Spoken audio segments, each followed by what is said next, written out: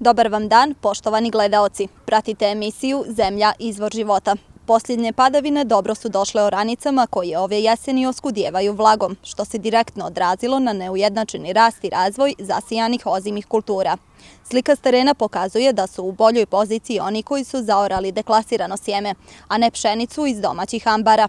Iako je optimalni rok isturio prije mjesec dana, neke parcele još uvijek nisu zasijane, jer bez jake radne mehanizacije nije bilo moguće adekvatno pripremiti oranicu za sjetvu, tvrde proizvođači. Sušnu jesen ne pamte semberski poljoprivrednici koji su zahlađenje i posljednje padavine iščekivali od momenta kada su zaorali sjeme onzimih kultura. Usled nedostatka padavine usporeno je bilo klijanje i nicanje usjeva, što je zabrinulo ratare koji ovih dana obilaze oranice kako bi ispratili stanje nakon kiše koja je nakvacila zemlju u tek posljednjoj dekadi novembra. Stanjem koje zateču atarima oni koji su pratili agrometeorološke uslove i datum sjetve, razloga za zadovoljstvo imaju. Ova je pšenca sijana prije na sedam dana mijolj dana nema pšenice bolje od Mijoljske, tako sam čuo i od džedova i od pram džedova i od stari ljudi, znaš. Hoće li biti gubitak ove godine? Pa, gledajući ovako, ne bi trebalo da bude, kada sad ovako vidiš da je se ukorijenila, obokorila se, ne bi trebalo da bude ništa. Jeste li imali uslova za navodnjavanje parcele? Nisam imao uslove i nemam ja sistem za navodnjavanje, ja se samo molim Bogu da pane kiša i eto, bila je dugo bez kiše, došle su neke male kiše i ona je nikla, za sam za sad prezadovoljan. Mnogi koji su čekali da naplate ove godine požnjevenu i predatu pšenicu bili su primorani da se zadužuju u poljoprivrednim apotekama kako bi i nabavili sjetveni repromaterijal i džubriva da bi jesena se zasijali oranice. Krenulo je loše, bila je suša koja imao velike mašine da uradi, on je ovaj mogao da uradi, a ovo su moji, moji prijatelji pomogli da ovo sredim i uradim. Na vrijeme je posijala, dugo je nicala, i, ali je dobra izišla. Nema šta se pričati. Ima još da nešto posijem, okasnio sam to, ali to ću vjerovatno neki ječam zasijati, to on može i kasnije. Kad, kad? Pa eto, planiram sad za neki dan, ako ne bi bilo kiše, da to spremim i da posijem.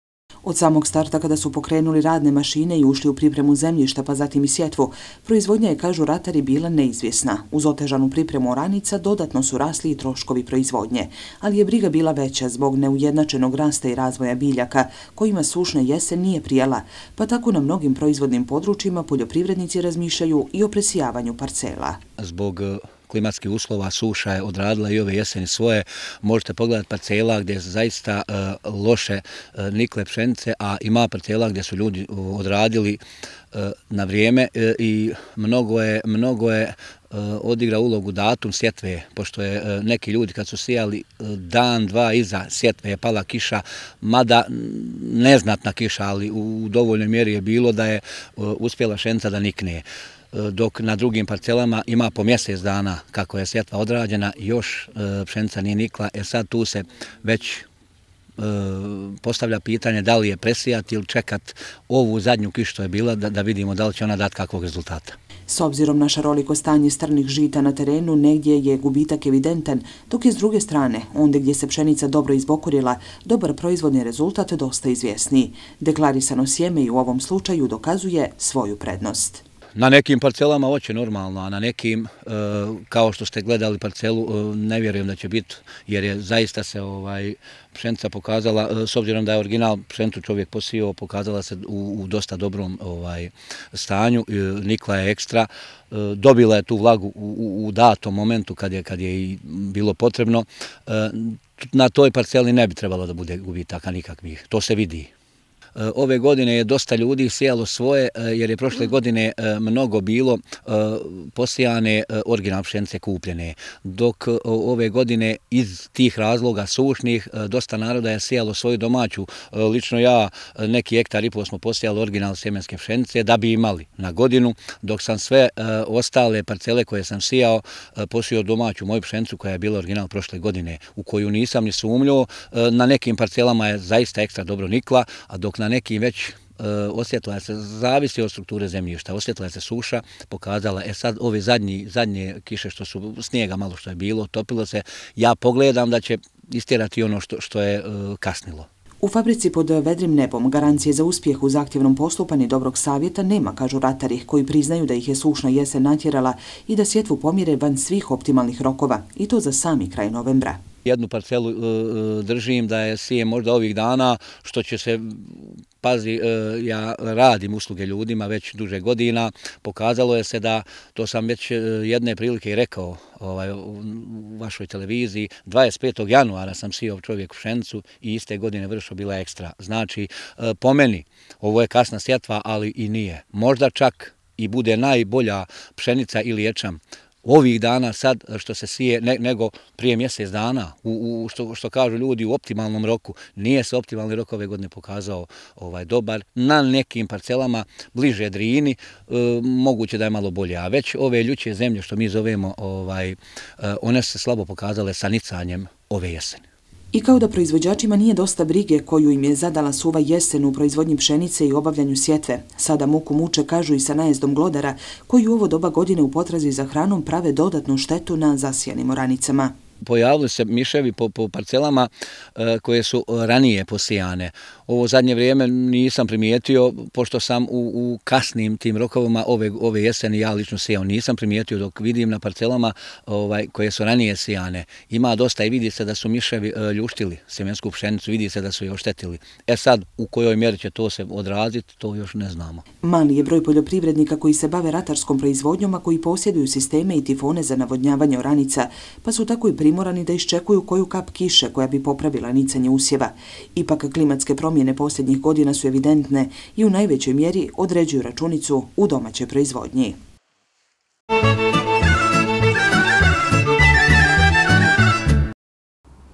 Sa dolaskom hladnijeg vremena počela je i sezona svinjokolja, ali da se uživanje u dobrom zalogaju ne bi pretvorilo u noćnu moru, treba biti oprezan da ne dođe do zaraze trihinelozom.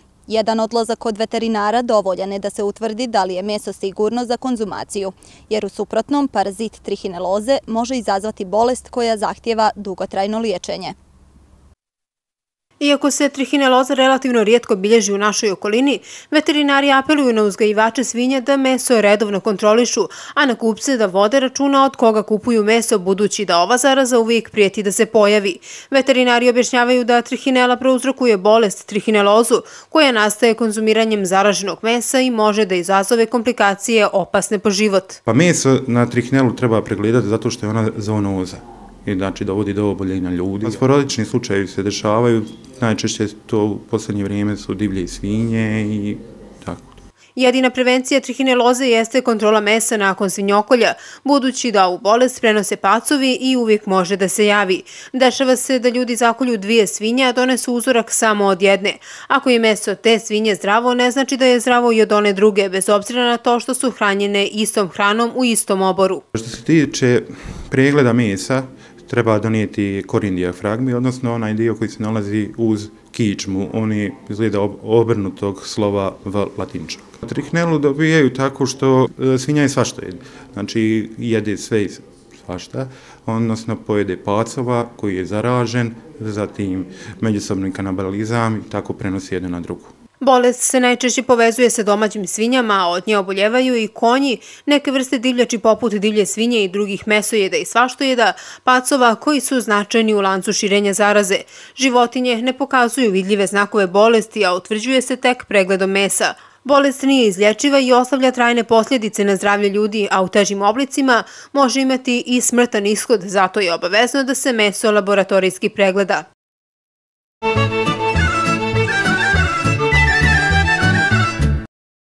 U voćnjacima širom BiH ubrano je ove godine više od 60.000 tona jabuke, pa voćari strahuju da će ih problemi dočekati na domaćem tržištu već u februaru i tokom marta naredne godine. Uslijed prekomjernog uvoza jabuka je lošije kvaliteta. Sortu Gala Milošević iz Tutnjevca kod Ugljevika plasirali su na evropsko tržište, dok kasnije sorte u hladnjačama čekaju sezonu veće potražnje pa tako i bolju cijenu. Do tada vrijedno rade u zasadima kako bi spremni dočekali zimski period, ali i narednu proizvodnu sezonu. Voćari su ispratili rodnu sezonu, ali su se posla u zasadima prihvatili kako bi voćnjake pripremili za naredni proizvodni ciklus. U voćnjacima Miloševića u Podmajevičkom kraju završeni su gotovo svi radovi koji su predviđeni za ovo doba godine. Protiv gradne mreže su sklopljenje, voćnjak je prihranjen mineralnim i stajskim džubrivom.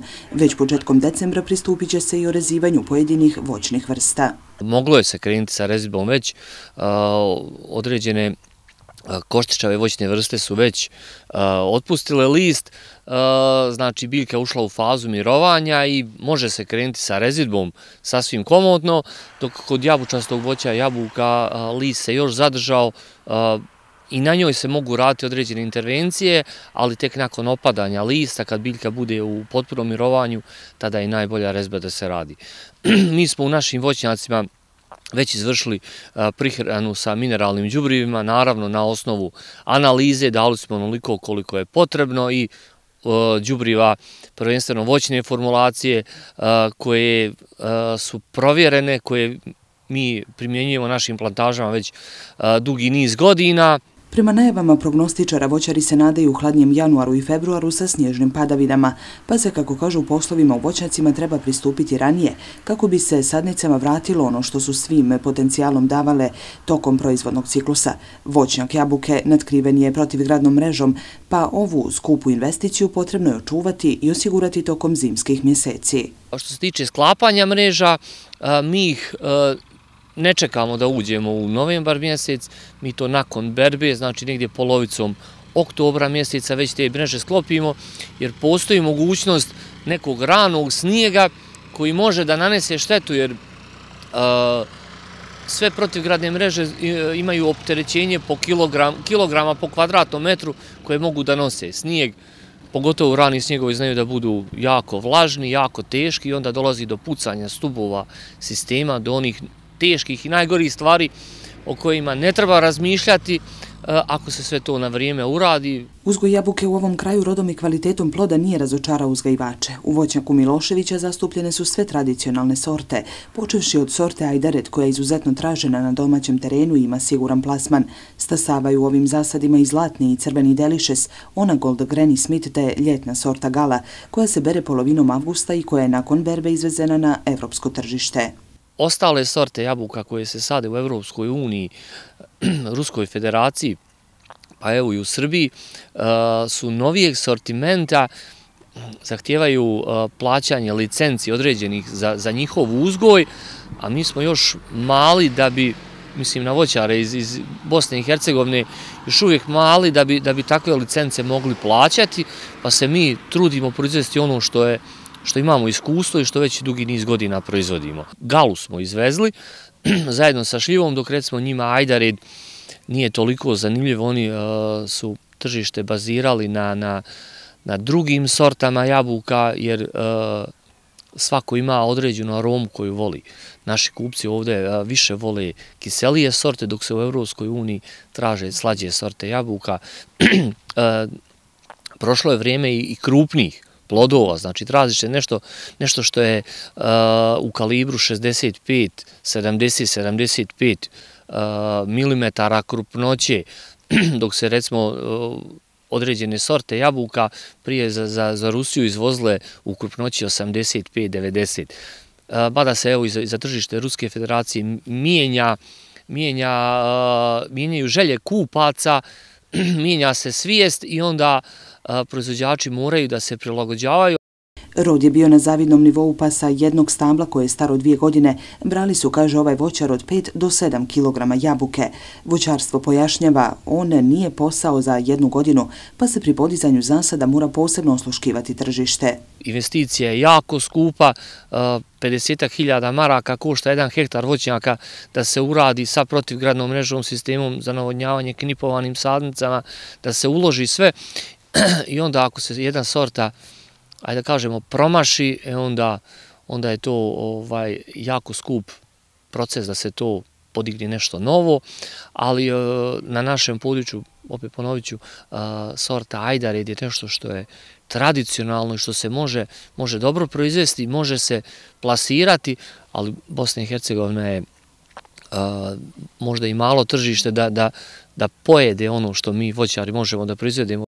U voćnicima širom Bosne i Hercegovine ubrano je ove godine više od 60.000 tona jabuke, pa voćari strahuju da će ih problemi dočekati već u februari i tokom marta naredne godine uslijed prekomjernog uvoza jabuka lošije kvaliteta po subvencionisanim cijenama. Voćari iz, iz Poljske imaju subvencije, odnosno njihovi otkupljivači imaju subvencije za, za izvoz jabuke i onda dolazimo u situaciju da mi našu jabuku teže prodajemo jer ušla je jeftinija.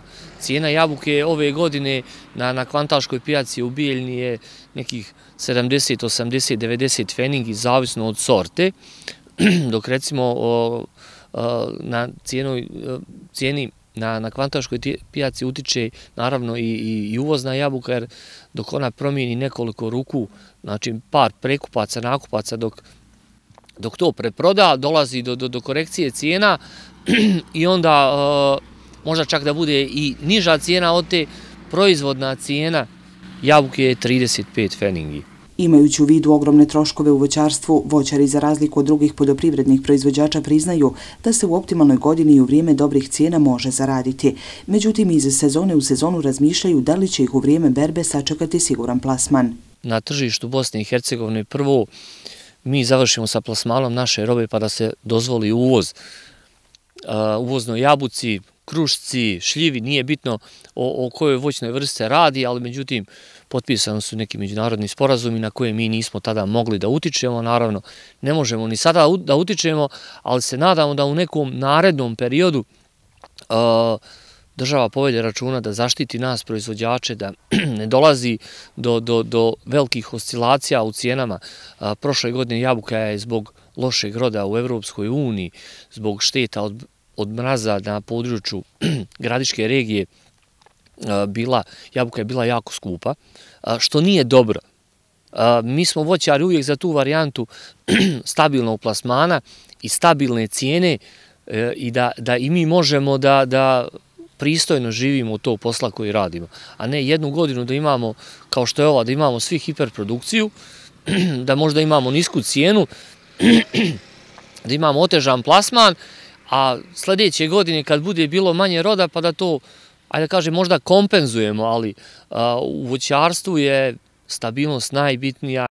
Osim sorte gala koja je izvezena, sav ubrani rod iz voćnjaka Miloševića u skladištenje u hladnjačama, gdje čeka sezonu veće potražnje, pa tako i bolju cijenu. U hladnjačama imamo, imamo nešto preko 35 tona, preko 35 tona jabuke, nešto smo, što je bilo druge i treće klase, padalica i prekrupnih plodova, nešto smo to već iskoristili za rakiju, nešto je se izvozilo, ostatak će sačekati do, do januara, februara mjeseca, kada malo i bolja potražnja bude bila za, za, za jabukama na ovom području. Proizvodnja jabuka se isplati, ali je investicija velika, kaže ovaj voćar i dodaje da se i ovogodišnjom proizvodnjom šljive od oko 140 tona mogu pohvaliti. Voće uzgajaju na površini od 7,5 hektara, posao bi širili da je na raspolaganju više slobodnih poljoprivrednih površina. Jabuka je nešto ponavno što se isplaćuje, isplati, isplati za rad, ali naravno e, treba proizvodnju bazirati na ono što se može plasirati na tržištu moja neka želja i, i namera je bila i jeste još uvijek da se obezbijedi kakva površina do nekih 5 hektara, da zasadimo evropske sorte jabuke. Ono što bih mogao da plasiram na tržište Evropske unije, jer njima mogu biti konkurentan, jeftinija je proizvodnja kod nas, ali ovaj teško je obezbijediti poljoprivredne površine na koje bi se to zasadlo. Ovdje kod nas u selu nema, nema zemlje koja bi se mogla dobiti u zakup, nema, nema zemlje u, u državnom vlasništvu, mogla bi se organizovati proizvodnja na, na udaljenosti od nekih 15-20 km odavde, jer sad već dolazimo do, do da li je to ekonomično, rentabilno. A ovo dugoročno i ne može donijeti profit. Ono što je sigurno edukacija i usavršavanje u ovom poslu su obavezni kako bi se unapređivao, da bi se kvalitetno proizvodilo i da bi se bez problema osvojilo zahtjevno tržište.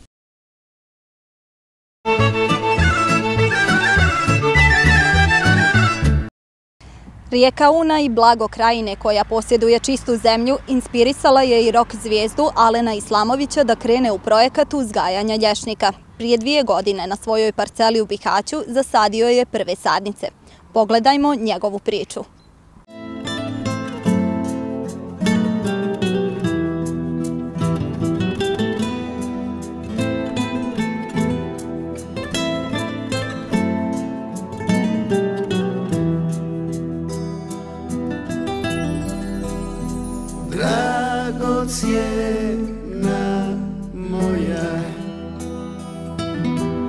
Sa suncem u oku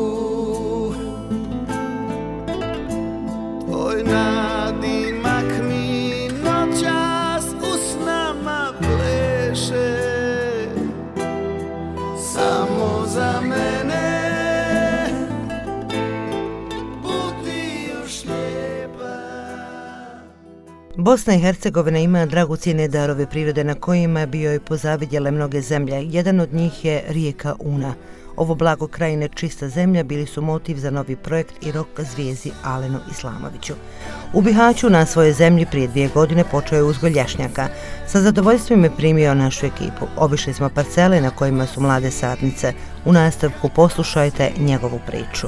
Najljepše što mi se desi Pozdrav gledalcima vaše televizije, pozdrav vama, drago mi je da ste došli u Bihać, ovaj lijepi Bihać.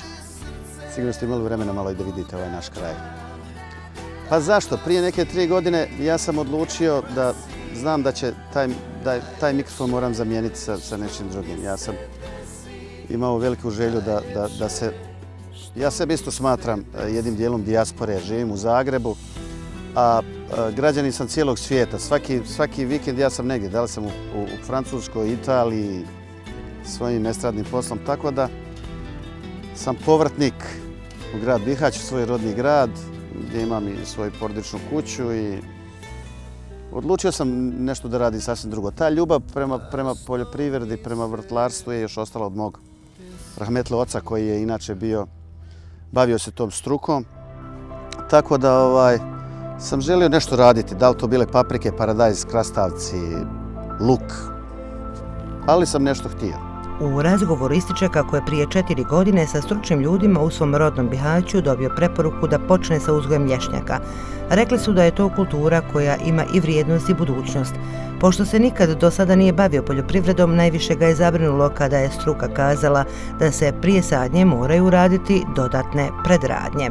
Analiza zemlje, a gdje ću to napraviti? Kaže, imaš ovdje u Bihaću, imaš to, možeš raditi u Zagreb, možeš raditi u Ljubljani, gdje god uzmeš vreću zemlje, ti nosi u bacu gepek pa rada analizu. I tako je bilo. Prvo što sam odradio, preko prijatelja, ovaj, došao sam i do Ethema, agronoma, koji je tu isto bio na funkciji jednog eh, direktora. Pa, smo, pa sam uzeo analizu zemlje i predao sam te dvije, tri vreće, predao sam ovdje u Bihaću, gdje je izvršena analiza, ali ujedno ne da meni vrag mira, pa sam ja tu zemlju za Zagreb, jedno, dvije vreće, iz, izvršio analizu u Zagrebu ja sam sad stavio taj papir ovdje i idem ja kod gospodina Edhema da mi sad da u meni očita analizu Bihaća. Bihać pročitao je ovo je dobro, možemo malo popraviti, pH vrijednost je e, malo veća, to ćemo sniziti, dodat ćemo kisika, da, da, da, la, la, la, la. I sad ja njim kažem, a šta misliš o ovom nalazi iz Zagreba? On, ti si ovo nosio? Pa nosio sam u Zagreb. Ne mogu kaže da verujem isto. to je bio još jedan pokazatelj da naši stručnjaci mogu parirati istim u zemljama Evropske unije. I onda kad se ustanovilo da je stvarno zemlja, ovo Bihaćko polje kompletno, znači od samog Ripča dole do ulaska rijeke Une dole ispod pokoja, da je jako, jako dobro za, za sadnju lješnjaka, oraha. Ja se odručio za lješnjak. Malo sam se još raspitao, posjetio neke plantaže u Srbiji, posjetio neke plantaže u Turskoj, posjetio sam neke plantaže u Italiji i ta varijanta kontinentalnog lješnjaka, što znamo mi reći kontinentalni lješnjak, ne to struka kaže, i stablo. Mi ovdje uzgajamo stablo, lješnjak, ono će biti kao jabuka, kruška, šljiva, formirat ćemo ga tako. Za ovo zemljište, zemljište kao zemljište ima sve, dodajemo nešto određeno, pazimo šta, uz pratnju struke pazimo šta stavljamo u zemlju, kako obrađujemo zemlju, tako da želim da uzgojim kvalitetan lješnjak. Alenu ne treba pomoć kada je riječ o muzici, ali u ovom slučaju kaže za svoj tim odabrao je najbolje agronome Unsko-Sanskog kantona. Edhem Hođić ima mnogo radnog iskustva, a primjenjuje i ono iz zemalja Evropske unije. Od početka su skupa i bez konsultacije struke u razvoju agronomije nema pomaka, potvrdili su nam. Ulaganja su bila sasvim zahtjevna, ali ovaj kroz neke ekonomske analize ovaj kako se to može refundirati kroz finalni proizvod i kroz kvalitetu što je Alan pomenuo su uputile na lješak. Znači ostalo je znači sa strane smo ovaj, ostale su opcije od krastavca, povrća, nečega to je ostalo, ali jer, jer smo malo razmišljali i o plasmanu i o skladištenju, preradi, svemu to. Međutim, kod lješnjaka je to bilo, znači sve su bile pozitive i onda je to definitivno išlo se u tom smjeru. Tako smo i krenuli. I onda smo shvatili zapravo da dosta imamo slični razmišljanja u cijelom nekom, da kažem, ovom konceptu sadnje lješnjaka na Uzko-Sanskom kantonu i onda smo udružili snage. Malo se, da kažem, ovaj, Alenov popularizam i njegova dobra volja i spremnost da investira ovaj, udružilo sa strukom i to je rezultiralo da ćemo ove godine imati već sadnje nekih 150 dunuma na Unsko-Sanskom kantonu, a prethodilo je jedan koncept kojeg ja nisam htio znači, propustiti, eh, koji se temelje na četiri ključna stuba. Prvo je znači edukacije. Ovo, mi smo obišli sve općine Unsko-Sanskog kantona, kantonu, nismo stigli još otići u Sanski most, a obećali smo ljudima. Kroz edukacije, čitovi ovih godinu dana, prošlo neki više od 300 ljudi. Znači, htjeli smo dati jedne preliminarne informacije, preliminarne znači, ovaj, informacije ljudima, uspostaviti kontakt, vidjeti kako ovaj, ljudi prihvataju takav jedan koncept i ovaj prvo su išle edukacije. Zatim nesporno analiza tla i priprema zemlje ovaj po rezultatima analize i po preporukama. Evo danas upravo u Bihaću idem da prekontroliram dvije parcele da li se radi onako kako je struka rekla i hoće li oni biti dio našeg tima ili ne. Prvi indikator znači uzbiljnosti je bio svaki onaj e, proizvođač koji postupi onako kako je struka rekla i radi ono što, što je analiza preporučila, odnosno šta se zahtjeva. To je za nas mjerilo uzbiljnosti i takvi ljudi su znači po nama ozbiljni i, i ovaj, idu dalje, da kažem, u ovom timu. Treće je bilo u svakom slučaju certificiran sadni materijal, kojeg moramo imati i četvrto je u svakom slučaju znači ovaj kontinuirani stručni nadzor i pristup na terenu jer rentabilne i uspješne proizvodnje sigurno nema, kao što se rekla u uvodu, e, bez ovaj prisustva struke. Nadogradnja kao peti koncept će biti u svakom slučaju ovaj otkup, ali otkup zdravstveno sigurnog i zdravstveno ispravnog proizvoda koji se može plasirati na evropsko tržište. Počeli su 2016. Prvi plodovi istina sporadično krenuli su već prošle godine. Mi ćemo sad zaokružiti ovo sve što imamo zemlje, što smo, nešto smo još obradili. Imaćemo negdje oko 1750 stabala, stabala lješnjaka na površini negdje oko 24.000 kvadratna metra. To je znači negdje dva, dva, blizu 2,5 hektara. Ja sam bio na plantaži u, pored Istanbula gdje su tamo negdje po neki 65 godina lješnjaci. To su ogromna debela stabla, to još i rađa nenormalno, čak jedno to stablo daje po 300-400 kg lješnjaka, što je za nauku ovdje, za BiH, e, svemirski brod. Mi ćemo biti zadovoljni ako ovdje nakon nekih 7, 5 do 7 godina, znači stablo kad bude nekih 11-12 godina da dobijamo 5 do 7 kg, odlično. Ali koliko stablo stari, taj, taj, taj, se, taj se urod povećava. Nadamo se za neki 15 godina da bi to moglo biti deseta kilograma, možda 15, ali to je odlično za ovo, za ovo podneblje. I što je interesantno, taj plod će 80-90 godina on će rađati. Tako da ja imam šta ostaviti unuku.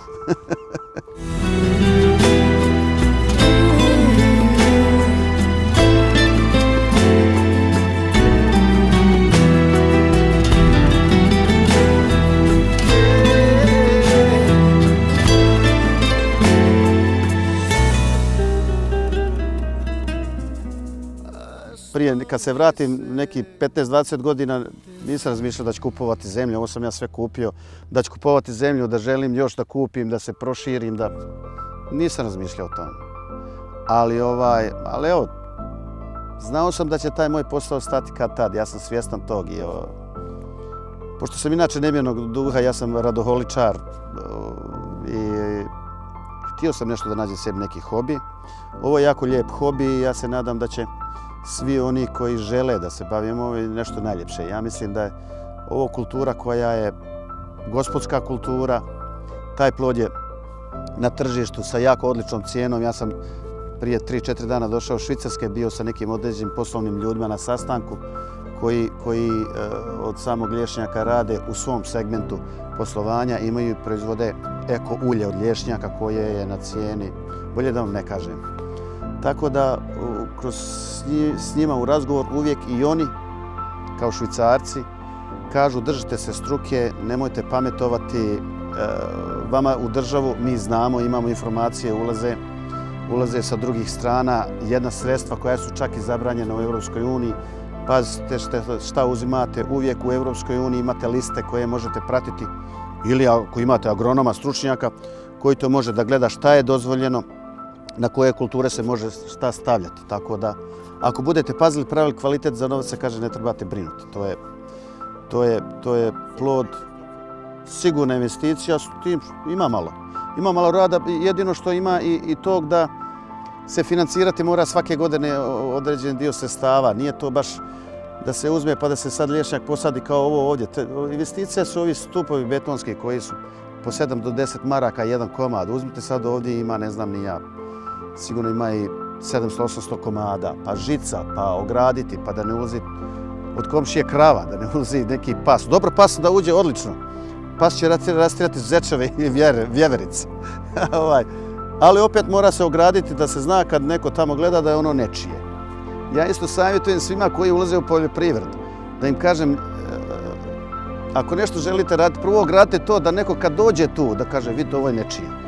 To nema ništa ljepše. A ako ostavite to da to bude svačije, onda i to što radite, što uložite malo se stava u poljoprivredu, neće baš, baš biti jako dobro. Najvažnije prve godine obskrbiti zemljište kvalitetnim hranivima kako bi stablo moglo kontinuirano crpiti sve što mu treba za razvoj, pojašnjava Ethem. Red od reda je 4 do 5 metara jedan od drugog. To je onako jedan optimal, optimalan razmak iz razloga što govori samo o tome hoćete li koristiti veće ili manje traktor u smislu malčiranja, odnosno košnje trave između samih redova. Ako je malo masivni traktor, onda je bolje da idete 5 metara.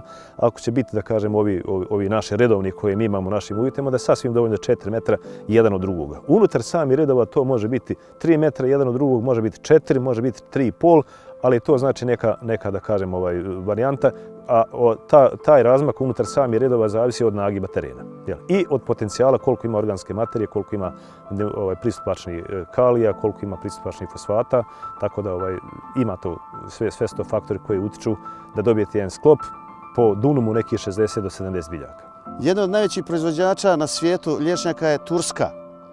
Turska je ove godine, koliko ja imam informaciju kroz razgovor sa ljudima i čitam, je pala u proizvodnji sa nekih 20-30%, tako da je sve kompletne tvornice čokolade od Španije do, do Mađarske, Njemačke uzdrmala i onda su naglo je opet skočila cijena potražnja lješnjaka, ali ovog kontinentalnog, ne onog da opet objasnimo ljudima, ne onog primorskog uz more.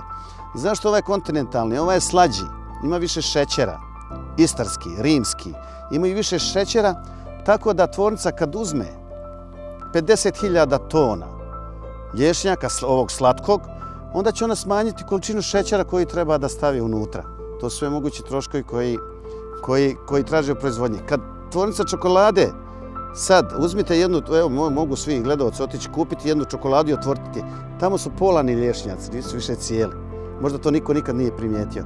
To je sad znak da taj krupni lješnjak dolazi na tržište i da ga tvornice čokolade polaju, jer od 10 komada dobit će 20 i oni pune čokoladu. Tako da Bosna i Hercegovina imaju veliku šansu.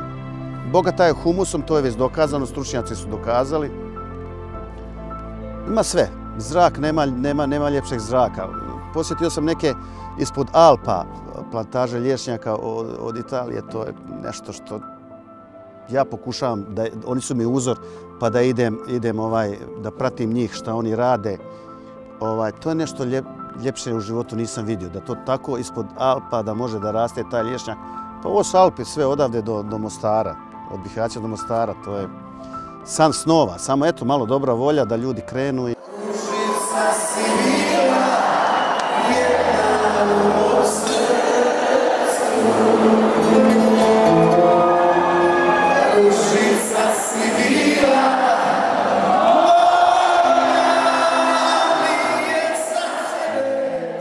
Na kraju je poručio svima koji su zainteresirani za ovu proizvodnju da dođu u Bihać. Sa stručnjacima na terenu rado će podijeliti savjete. Svuda je, kaže, putovao, pjesma ga je vodila. Ipak ništa se ne može mjeriti s njegovom krajinom, ljepoticom unom, darovima prirode koje ima samo jedna i jedina Bosna i Hercegovina. Na kraju je poručio Alen Islamović.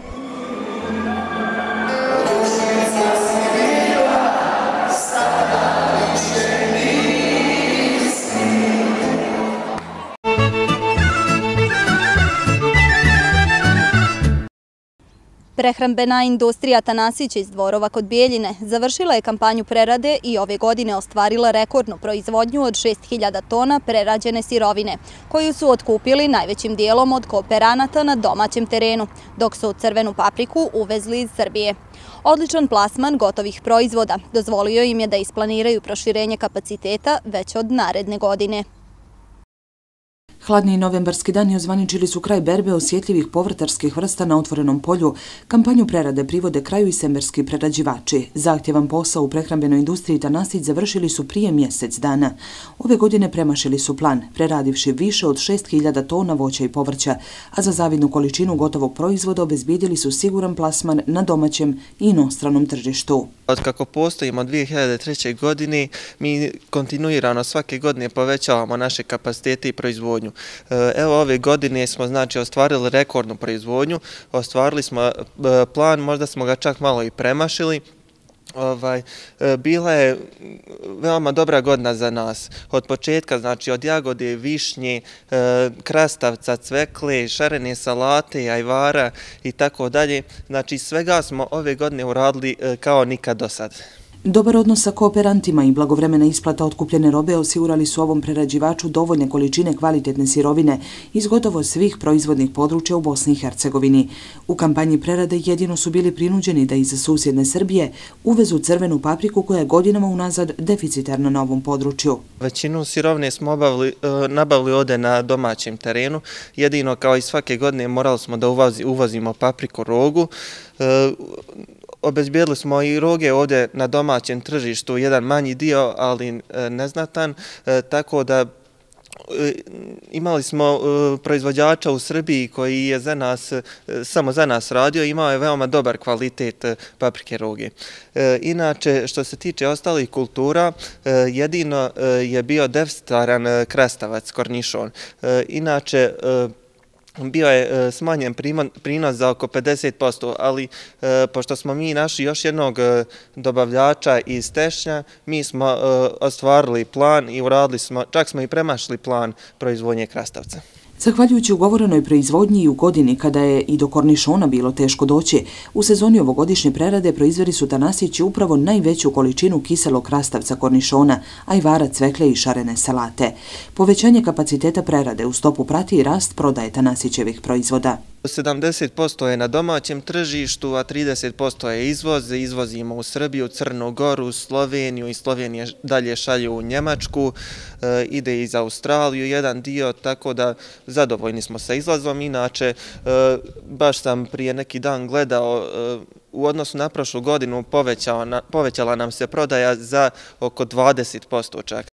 Iako su vremenske prilike tokom proizvodnog ciklusa otežavale proizvodnju povrća, ozbiljni uzgajivači su na svojim gazdinstvima uspjeli proizvesti kvalitetan plod za kojim vapi prerađivačka industrija. Veoma smo zadovoljni. Evo, na primjer, da prvo krenemo od cvekle, otkupljivali smo e, cveklu od e, našeg e, saradnika, mogu tako reći, Rata Jovičavća iz susjednog sela.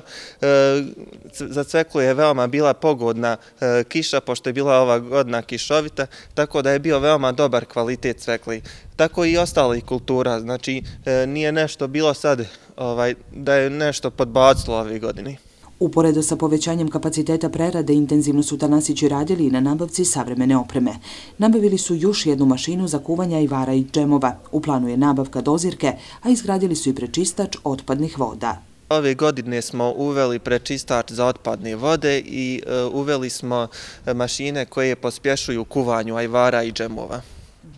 Da vam je to pokazalo već sada e, svoj učinak, svoju isplativost? Da, jeste, kako da nije. Evo, i za sljedeću godinu isto planiramo. Također, evo, nabavili smo još, jedan, e, još jednu mašinu za kuvanje ajvara i džemova. E, u planu nam je da nabavimo i jednu dozirku isto za ajvar i džemove. Tako da svake godine proširujemo naše kapacitete i uvodimo neke savremene tehnologije. Da je ova firma ekološki odgovorna pokazalo se i tim što je investirala novac i u izgradnju prečistača otpadnih voda. Za kapitalne investicije imaju podršku resoru ministarstva u vidu posticaja. Prečistač je znači već u radu. E, evo kad bi pogledali ulaznu vodu i izlaznu ne bi mogli da vjerujete koliko može taj prečistač da prečisti. Bukvalno voda je čista bez ikakvih čestica u sebi znači nakon prečistača. Jeste li tim smanjili dodatne troškove proizvodnje? Pa nismo smanjili, povećali smo, ali pošto smo mi e, ekološki svjesna znači, kompanija, mi smo htjeli i morali smo da uradimo taj prečistač. Prehrambena industrija Tanasić raspolaže magazinskim prostorom od oko 5000 kvadratnih metara. Već sljedeće godine, uz proširenje kapaciteta, planirali su da izgrade i mini hladnjaču u krugu fabrike. Hladnjača će biti manje kapaciteta, mi već imamo hladnjaču, ali nije nam u blizini fabrike, udaljena je malo fabrike, tako da planiramo da je premjestimo na novu lokaciju blizu fabrike. I to sve mora da bude tu u lancu da bi proizvodnja bila i prerada uspješna, je li tako? Pa tako je, sve mora biti tu na dohvat ruke. Kako je povjerenje vas e, i poljoprivrednih proizvođača? I što se tiče isplata, da li ste u tome redovni i šta njih u stvari drži zajedno u koordinaciji s vama? Pa evo, naši, naj, e, naši poljoprivredni proizvođači najbolje to znaju zbog čega su zadovoljni e, sa nama, najprije redovnom isplatom, ali i korektnom saradnjom svih ovih godina. Jesu li vam bile skupe povrtarske kulture za nabavku ove godine? Jesu bile skuplje u odnosu na prethodne godine? Pa, jedino što je poskupljalo ove godine je znači taj krastavac. E, cijena je otišla za nekih e, 15 do 20% gore, tako da morali smo i mi da povećamo cijenu gotovog proizvoda. I bez obzira što su preradu završili prije mjesec dana, uveliko se radi na planiranju narednog prerađivačkog ciklusa, pa uz nabavku nove opreme, već se ugovara i proizvodnja na imanjima poljoprivrednih proizvođača.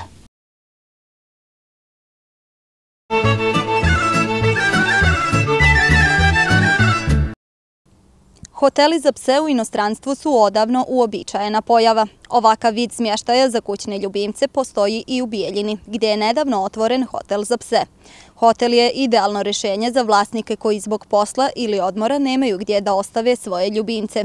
Cijene boravka pasa su uglavnom povoljnje, gdje je jednodnevni boravak sa kompletnom njegom za ove neobične goste košta 12 maraka. A ukoliko vlasnik želi da donese svoju hranu za psa koji ostaje u hotelu, onda je cijena 10 konvertibilnih maraka. U Bijeljini je nedavno sa radom počeo prvi hotel za pse što je oduševilo vlasnike ovih kućnih ljubimaca s obzirom na to da već odavno postoji potreba za ovakvim vidom brige.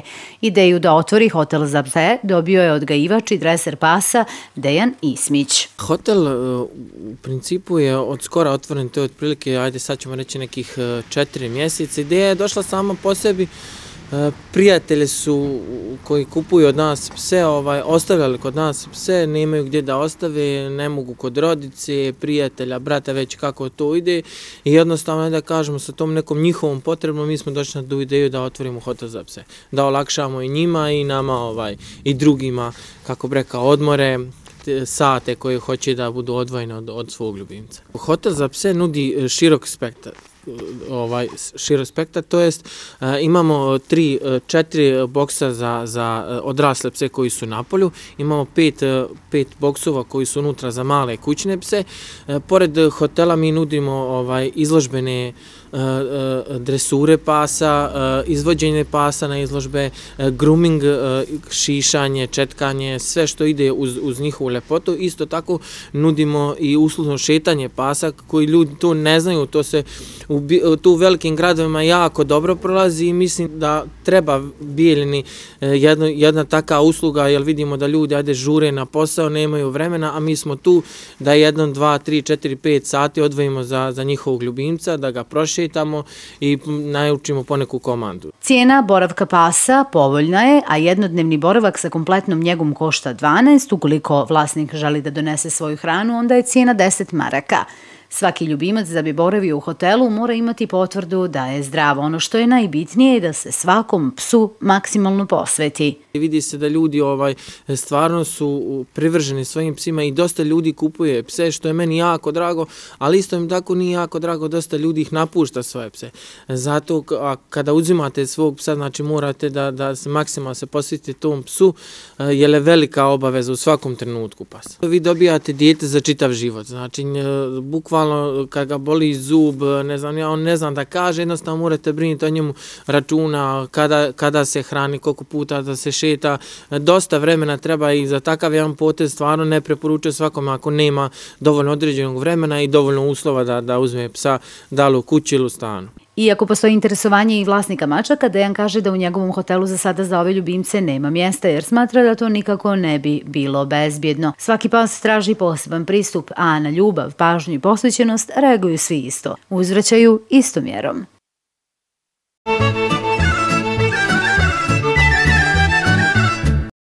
A sada pogledajmo vijesti iz poljoprivrede. Ministarstvo poljoprivrede, šumarstva i vodoprivrede Republike Srpske je posredstvom Agencije za agrarna plaćanja isplatilo 1.571.305 maraka po osnovu posticaja za poljoprivrednu proizvodnju. Ovo je treća isplata u posljednjih 15 dana, a ukupno je u ovom periodu isplaćeno oko 4 miliona maraka, saopšteno je iz resornog ministarstva. U novembru je isplaćeno oko 8 miliona maraka posticaja, a o narednoj uplati javno će biti blagovremeno obavještena. Prehrambenoj industriji Sava su u 43 semberska poljoprivrednika predala oko 400 tona, odnosno najveći dio proizvedene količine crvene paprike, potvrđeno je u Savi. Ovi poljoprivredni proizvođači su se uključili u projekat čiji cilj je smanjenje nezaposlenosti i jačanje domaće proizvodnje u okviru lokalnog partnerstva, a koji su finansirali Evropska unija i grad Bijeljina uz podršku Centra civilnih inicijativa, Bijeljinskog zavoda za zapošljavanje, prehrambene industrije Sava Semberija i ustanove za obrazovanje odraslih dositej. Svi 43 poljoprivrednika su prošli tehnološki nivo spremnosti da proizvode papriku, koristili najbolje sirovine, imali obezbjeđen plasma na tržištu, ostvarili su pristojnu zaradu koja će im omogućiti da se registruju kao komercijalno gazdinstvo, ostvare status zaposlenog lica, te da imaju osiguranje, a u novoj sezoni ponovo pokrenu ciklus proizvodnje, kažu u Centru civilnih inicijativa i podsjećaju da je crvena roga deficitarna na domaćem tržištu, te da je ukupna proizvodnja realizovana u stručnu pomoć agronoma, pa su poljoprivrednici prošli proces obuke i dobili repromaterijal. U toku su aktivnosti na preregistraciji poljoprivrednih gazdinstava. Do sada su ovaj posao završila 23 korisnika, a njih 15 je iskazalo zainteresovanost za preregistraciju. Domaći proizvođači pilećeg mesa uprkos obećanjima vlasti BiH i dalje čekaju zeleno svjetlo za plasma na evropsko tržište, a kada će rampa biti podignuta još ne znaju ni u Ministarstvu spodnje trgovine i ekonomskih odnosa BiH. Iz Kancelarije za veterinarstvo BiH, koja je pod okrilje Ministarstva spoljne trgovine, tvrdi da su ispunili sve obaveze u vezi sa izvozom mesa peradi i prerađevina od njega u Evropsku uniju. Nakon odobravanja akcijnog plana, sljedeći korak je da Evropska komisija završi procedure izmene propisa kako bi Bosna i Hercegovina bila uvršćena na listu zemalja iz kojih je dozvoljen izvoz mesa peradi u Evropskoj uniji, kazali su za glas Srpske u Kancelariju za veterinarstvo.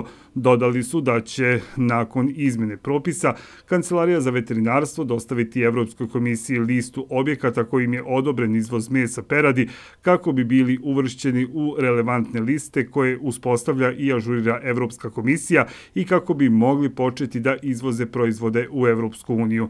Još ne možemo dati precizan odgovor o datumu početka izvoza mesa peradi u Evropsku uniju jer nemamo mogućnost da utičemo na dušinu trajanja procedure stavljanja zemlje na listu odobrenih zemalja za izvoz budući da su one regulisane na nivou Evropske unije i provode se u skladu sa njihovim procedurama, naglasili su iz Kancelarije za veterinarstvo. Rusija, koja postaje najveći izvoznik pšenice na svijetu, nastavlja sa potiskivanjem Evropske unije i Sjedinjenih država sa unosnih tržišta i želi da dostigne izvoz od 77,7 milijardi tona ove žitarice godišnje, navode ekonomski portali.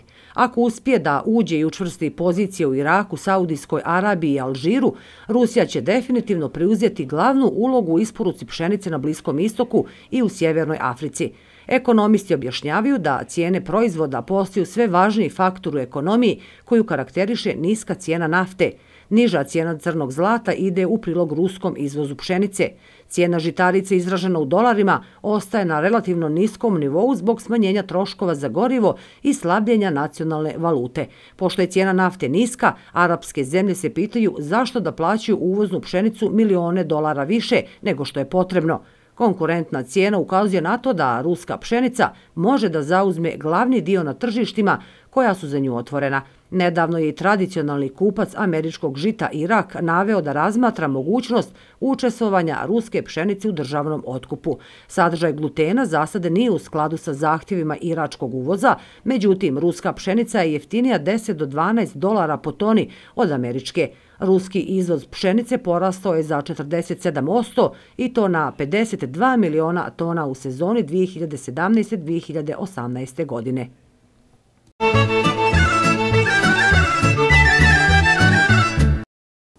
Evo kako nas vrijeme očekuje u narednih sedam dana.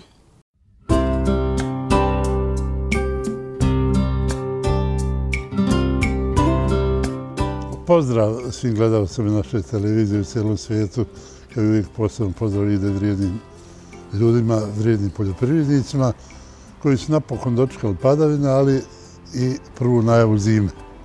Evo da govorimo da će zima biti duga i blaga, o tome govore i prirodni predznaci. Ovih dana imali smo pravi udar zime, koji je stigao sa hladnim vazduhom, prouzrokovan dejstvom anticiklona sa sjeveroistoka Evrope, pa je ponegdje bilo i, kako naš narod kaže, zdravo hladno. Naravno, snijeg i snježni pokrivač su uvijek dobrodošli, ali ovog puta su bili kratkog daha, ali ipak znamo dobre strane snijega i snježnog pokrivača, a neko čak u žargonu voli reći kad snijeg padne da one crne misli zamenimo bijelima. U svakom slučaju s ovim bijelim mislima i niskim temperaturama ispraćamo mjesec novembar. Zvali smo ga Slava, citali smo da se Slava. Hvala Bogu, pred nama i decembar koji također ima dosta slavlja, ali u svakom slučaju pratimo i vrijeme i vremenske prilike, ponekad s više pažnje i neprilike. Dakle, ovi dani za nama donijeli su i najhladnije dane ove jesenje, međutim, već evo danas u nedelju, očekujemo porast temperatura i u tom porastu temperatura i pravom jesenju vremenu ulazimo i u mjesec decembar. Dakle, sutra bi moglo biti malo kiša, eventualno u utorak.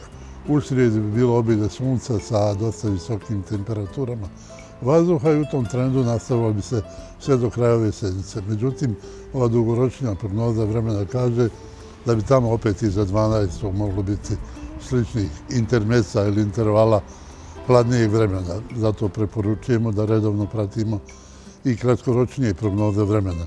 Ovi dana, naravno, ljudi koji imaju staklenike i plastenike imali su dosta obaveza oko toga. Znamo da su i glodari krenuli u svoje aktivnosti, pa evo možda savjeta vočarima da pogotovo donje dijelove mladih vočaka zaštite od potencijalne opasnosti od glodara a vrijeme i vremenske prilike ipak bit će na našoj strani, jer će omogućiti da boravi napolju, naravno i svojim plastenicima i staklenicima. Naravno, ni narodni meteorolog nije ostao bez svoje vjerovanja. Prvo da se posjetimo da je naš narod nekad ovaj mjesec zvao i prosinac i studeni i koledar, danas ga naravno zovemo decembar, ali kažu po decembru se i zima poznaje. Je interesantno da se tu podudaraju i klimatološke statistike i narodna vjerovanja, jer kažu obično decembri koji donose dosta niske temperature budu i najhladniji tokom tog perioda. Ovog puta po dugoročnoj prognozi ne bi trebalo biti tako.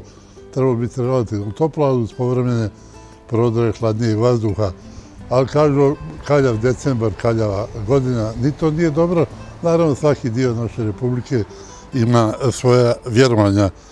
Ali ako u decembru nisu snijeg i zima, tada u martu zločestoga vremena ima što se list duže drži, onda se i zima duže pruži. Do gledanja.